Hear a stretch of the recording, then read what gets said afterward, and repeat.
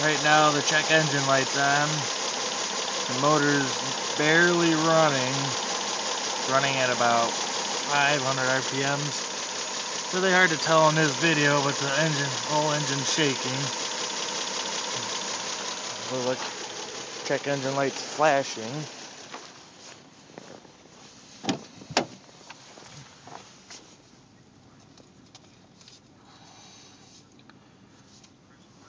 Okay.